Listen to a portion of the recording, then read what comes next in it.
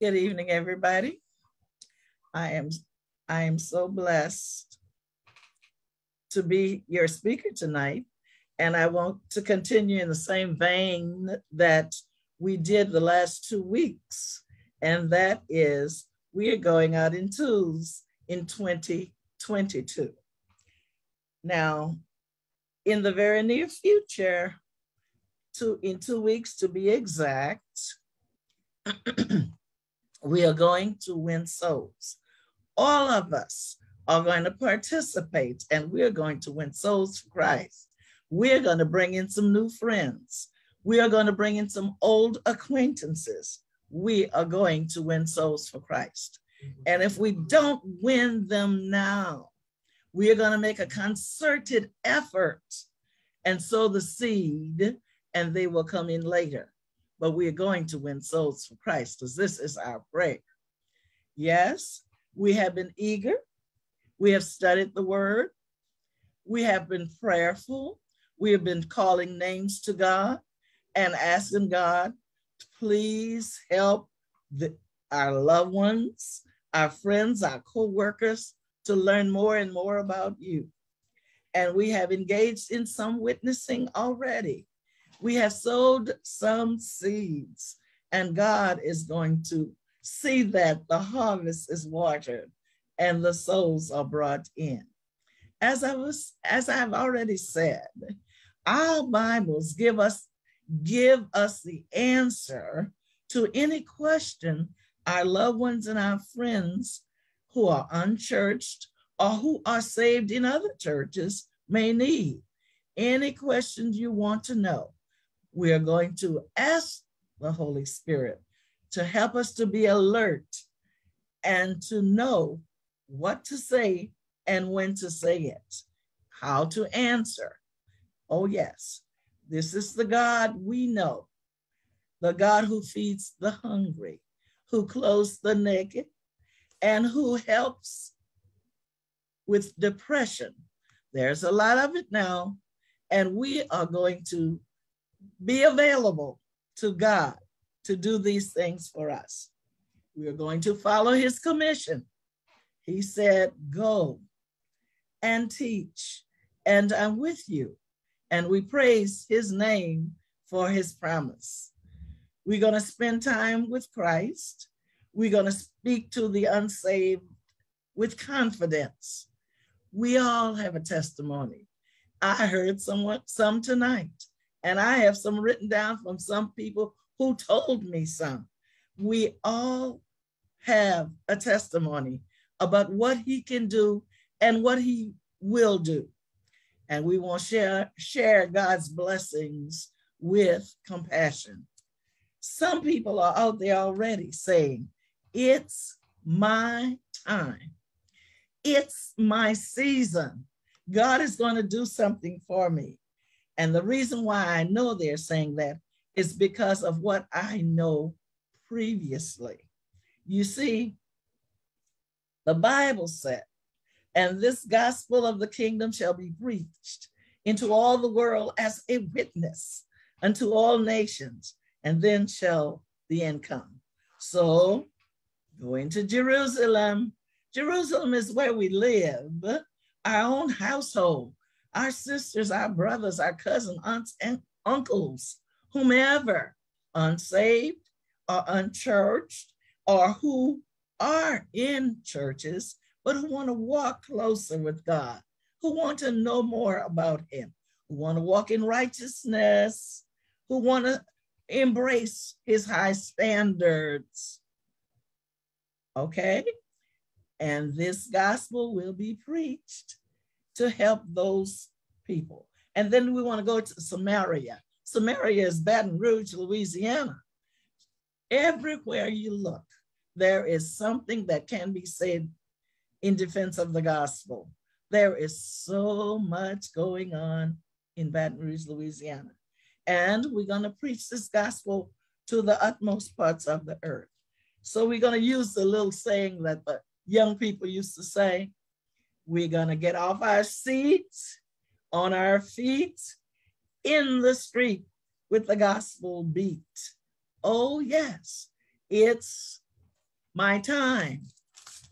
They are saying out there, they're waiting for us. And it's my season. I'm praying to you, Lord, to do something for me and to help me. Now, guess what? It came to me today, you know, not today. Well, it came to me recently about two testimonies that I heard from two friends of mine. One's name was Pearl. Pearl loved God with her whole heart. She even went to Sunday church every Sunday. She even went to Bible class. She loved God. But she told me that the reason why I was reluctant to take a stand for Christ, she said, because it seemed like the standards in my church were too low. I said to myself one time, Pearl was telling me, God has high standards and he he rules heaven and earth. He's a big God.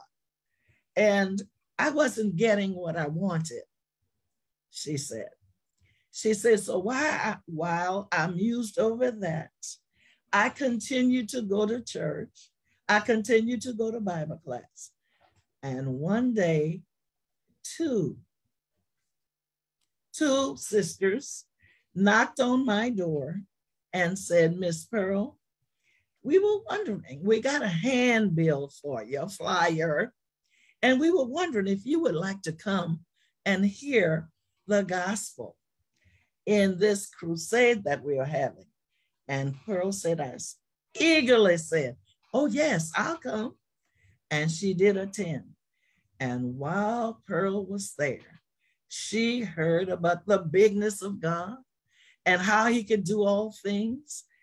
She heard about how God can raise the dead, heal the sick, clothe the naked. She heard about all of this stuff. And she said, I said to myself, this is the God I want to serve. And guess what? She said, about six months before these two ladies came, I had given up so much. And as the evangelist went on and on, he was telling us to give up certain things. She said, and I started to laugh. I said, I'd already given that up six months ago. I'd already decided not to wear this or dress this way. Or dress. She said, the Holy Spirit was leading me all the while. But the two ladies who were on their feet with their flyer in their hand on the with the gospel beat found my sister, our sister in Christ. Now that was her testimony. And I so appreciated her testimony. For her, it was a great adventure. It had been planned because of prayer. She said, I prayed and I asked God, and we know He works in mysterious ways, His wonders to perform. And Pearl got what she asked for. And we know that God will help us find His people. I have experienced it and I must share it. Now, there's another friend. I told you was two. John in uh, 120 and whatever in 45, you said. This next friend's name was Hazel. And Hazel was a good friend of mine who was just talking one day, and I happened to listen in.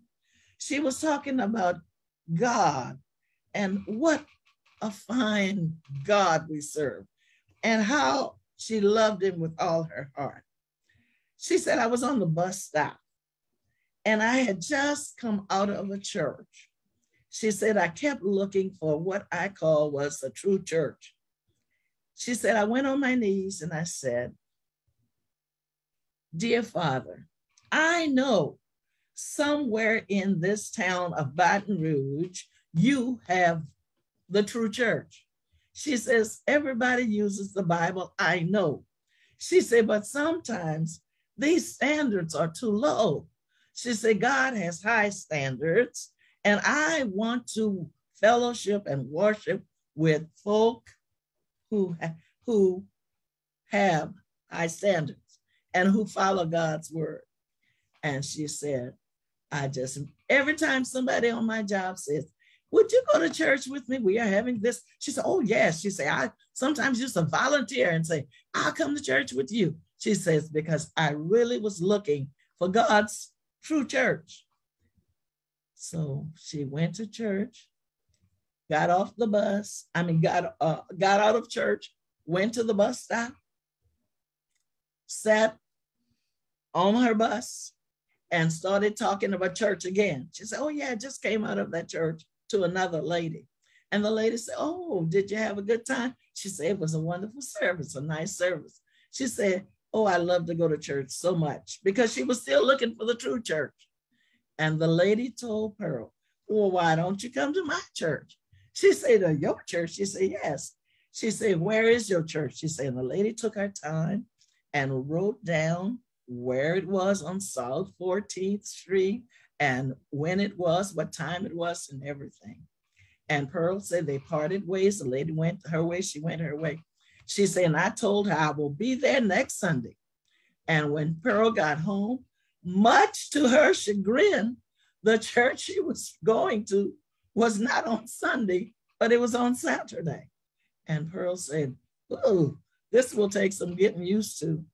But while Pearl was musing about what was going to go happen to her that Saturday, she dreamed a dream. She said, I was, I went to sleep after prayer and I asked God, I said, before I went to sleep, I said, please let me find your true church. See, I have been praying this prayer. Lord, answer my prayer. And she said, in her dream, she saw a baptistry. She saw the pulpit. She saw the walls. She saw the whole sanctuary. She said she was just looking around at what she saw. And she said, all of that came to her. When she got up, she said, I have found God's true church. She said, and I said to myself, Lord, I will continue to look for it until I worship with your people. Well, she took up, took the bus, went on South 14th Street and into the church. She saw her friend, said hello, and sat down. It was new for her because she had never observed Saturday as the Sabbath. And she said, when she settled in and started looking around, there was the baptistry. There was the pulpit. There were the walls and pictures and things that she had seen in a dream. And she said, Lord, I have found your true church. I have found your people with high standards. I will follow you. And if you help me, I'll be back to this church. And on her way out of the church, she said, our friend say, did you enjoy the service? She said, oh, yes. She said, you, oh, she said, I'm going to come back. She said, what about, what, why not have some Bible studies with us? She said, I eagerly said, yes, I'll study the Bible with you. She said, I didn't tell my friend, but I knew what I was going to do. Time went on. She had the Bible studies. She became a member of God's true church. You see, the testimony of the witness. Oh, yes, the testimony of the witness. They said, I have found the true church. When we pray and agonize with God, we will be a success. So when we take our handbills in about a week or two and knock on doors, tell our friends, our loved ones, our co-workers, down the street, up the street, wherever we go, God will do something great. Because some people have a testimony. They're waiting. They're saying, where, where is the church? Where are your people with high standards, Lord? Where are your people who believe in righteousness. Help me to find them. And he will. So we will get off our seats on our feet into the street with the gospel beat because God is going to see that what he has promised will be fulfilled. He said, Go, go into all the world, preach the gospel, and I'm going to be with you. And praise God, he's going to keep his promise. Now, my friends, this is what we will do. We're going to go out in twos in 2022. Have a blessed evening and bless your heart. Let's witness for Christ. Thank you. Amen. Amen. Amen. Thank you, Sister Lawrence, Elder Lawrence, uh, for that word. Thank you for sharing uh, that testimony. Um, you know, it's, e- it's it's easier to talk about what witnessing is and what the gospel is, but but when we hear actual testimonies of what the gospel does, we realize what it means for the gospel to become flesh. So thank you so much. And if you were blessed by this word at this time, please unmute, your devices and let Elder Lawrence know um, that she blessed your heart with her, her word this evening. Amen. Amen. Amen. Amen. Elder Lawrence, God bless us. Amen. Amen. Amen. Amen. Thank you again. At this time, we will transition as we always do to our giving. And as we are getting ready for our evangelistic series that will be starting next month, we need all hands on deck, but we also need finances to support what it is that we're trying to do at Berean Seventh day Adventist Church. Uh, we, we know that it's not an easy job. We know that it's not something that's going to come seamlessly. So we are just praying that you will be open to what God is doing and that God will impress upon you to give in the way that are outlined on the screen. You can give by mail 4555 Fairfields Avenue, Baton Rouge, Louisiana 70802. You can give online www.bereanbatonrouge.com clicking on online giving. And most, the easiest way you can give is merely giving to our Cash App dollar sign B E R E A N 4555. So let us pray. Dear most kind and gracious Father, we thank you for this word that you've given us. Lord, I pray that as we embark on this evangelistic series, that we will open our pockets, not just open our hearts, but open our pockets, open our mouths so we can be brave in asking others to contribute financially to the work that is being done at Berean. I pray and I thank you for the jobs that you've given us so that we can give back to you and contribute to the advancement of the kingdom. I pray all these things in Jesus' name. Amen and amen. At this time, we will transition into our our plus hour of power plus, and this is a time that you have a chance to um, share whatever reflection that you have or may have on the word that was shared tonight. Anything that was impressed upon you, anything that God deposited into your heart. Um, you may share it at this time. You never know. Somebody else may be blessed by what you were blessed by.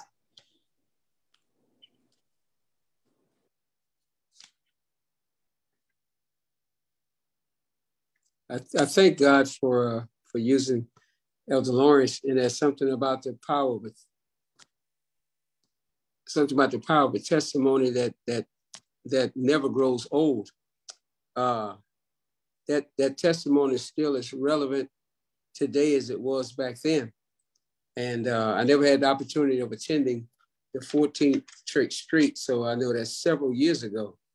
But uh, just just the power uh, of their testimony, and this lady was was willing and uh, to be led by God. She was shown through a dream, and uh, when she attended the church, that validated her dream.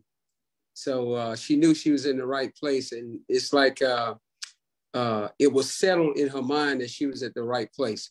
So because of the years that's passed in between then and now, we still can see how relevant, how powerful that personal testimony is.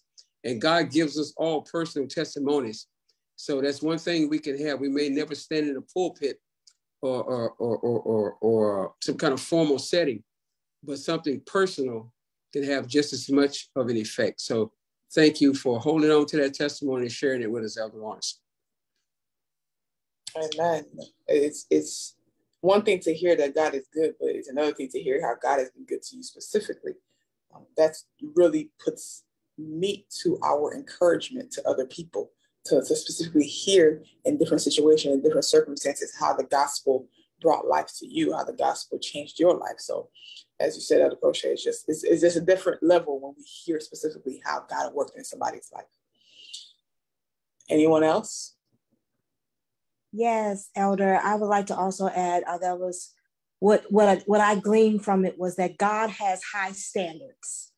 God has high standards.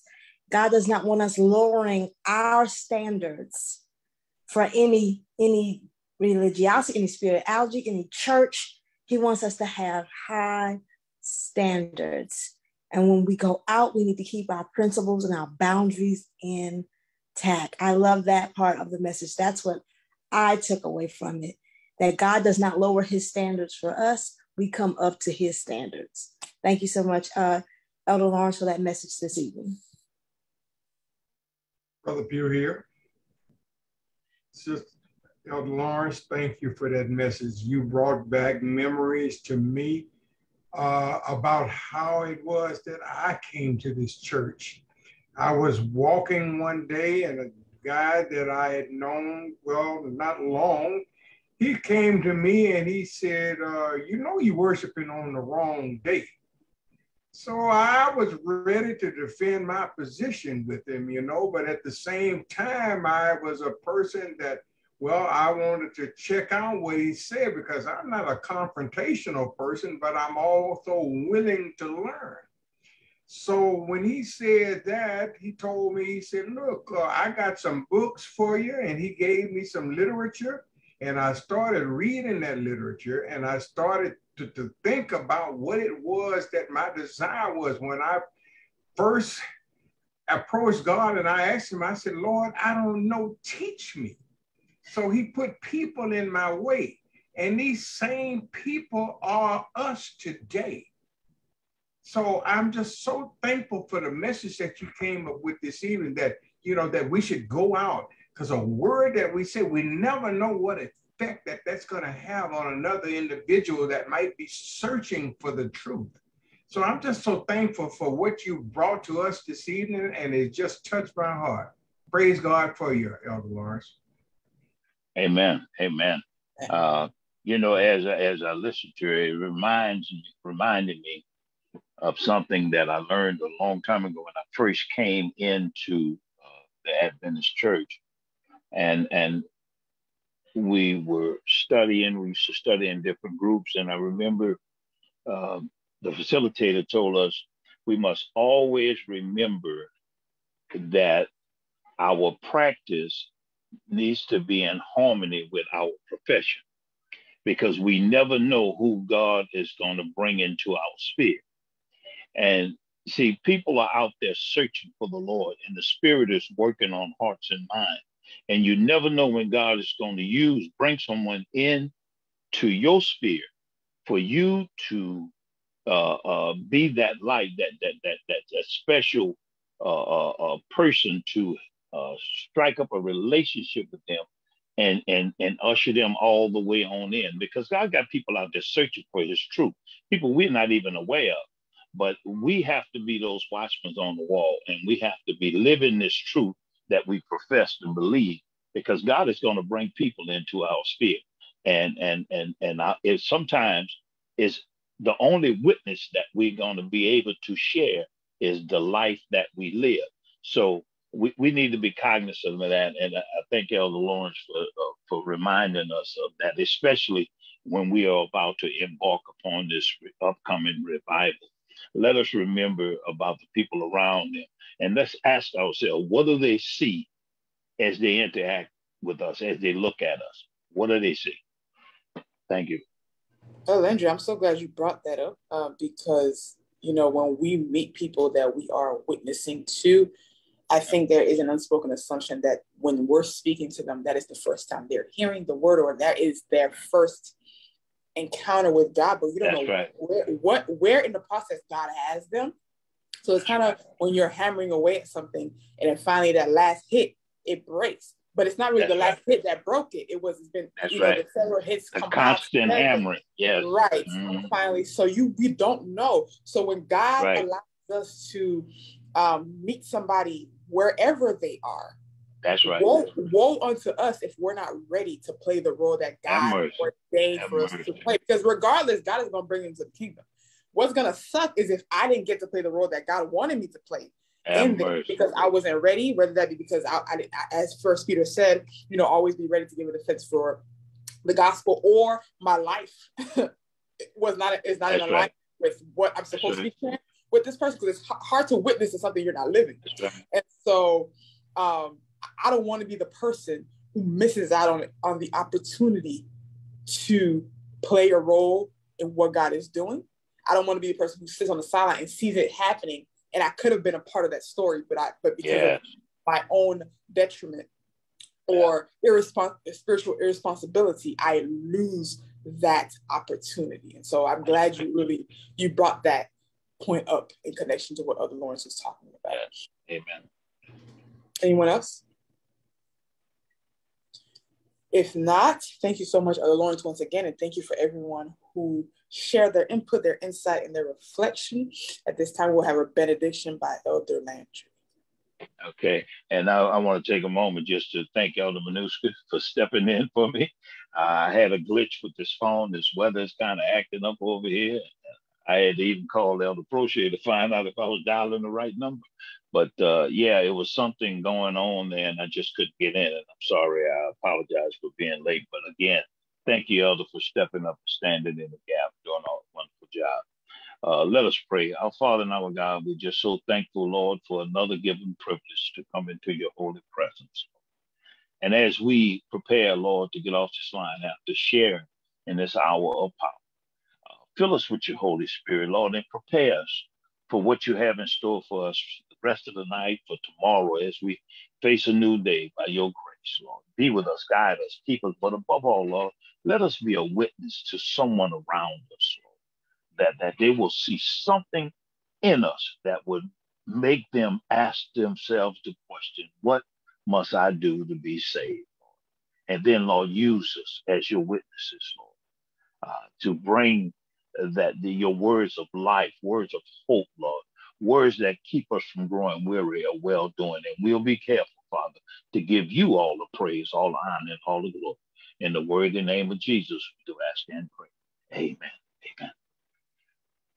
God bless you, everybody. See you this Sabbath at 11 a.m. Central Standard Time. Have a good night.